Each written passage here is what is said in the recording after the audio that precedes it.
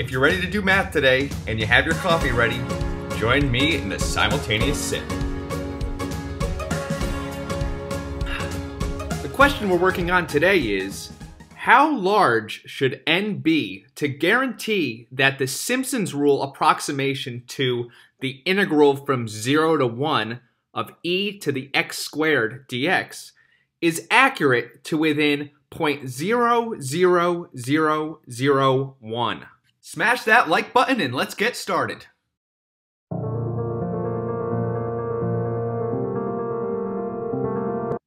We know the error with the Simpson's rule is bounded above by k times b minus a to the fifth over 180 n to the fourth.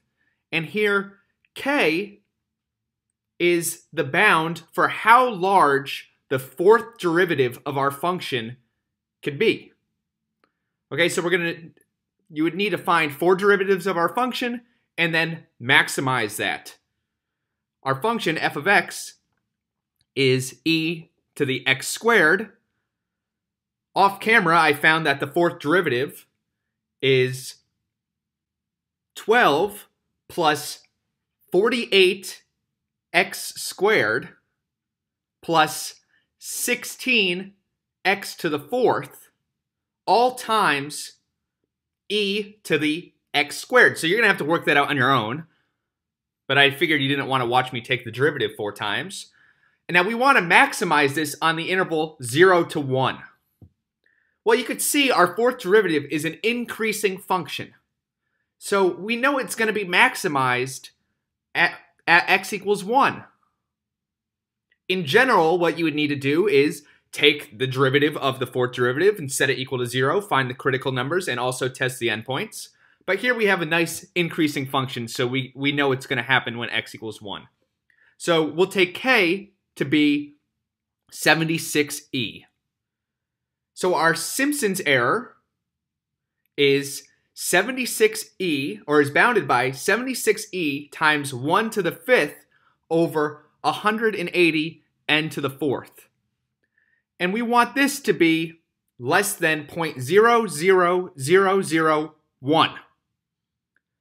We could manipulate this inequality to say that n to the fourth is greater than 76e over 180 times 0.00001, which is approximately 114,771.9.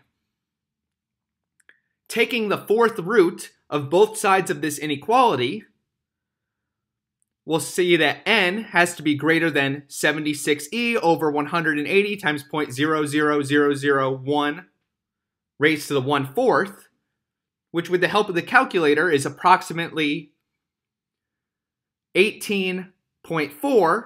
So we'll round up and we say that we need to have at least 19 regions for our error to be as small as we'd like. Make sure to subscribe for more Coffee and Math with Dr. Weselcouch. Don't text and drive. Bye bye.